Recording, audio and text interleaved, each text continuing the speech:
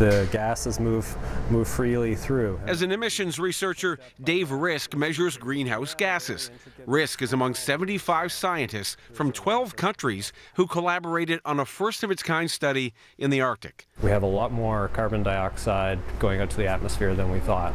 In the first coordinated carbon measurements in winter, the scientists measured the ground at more than 100 sites around the circumpolar Arctic. We always have to remember this uh, kind of balance with the carbon dioxide that's taken in by the vegetation annually and then, and then the amount that's released from soils. For thousands of years, Arctic land areas have soaked up CO2 from the atmosphere and preserved it in the soil.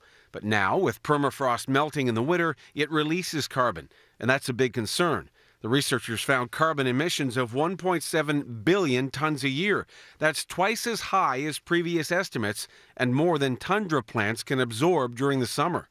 The report warns winter CO2 emissions will likely increase in the near future as temperatures continue to rise.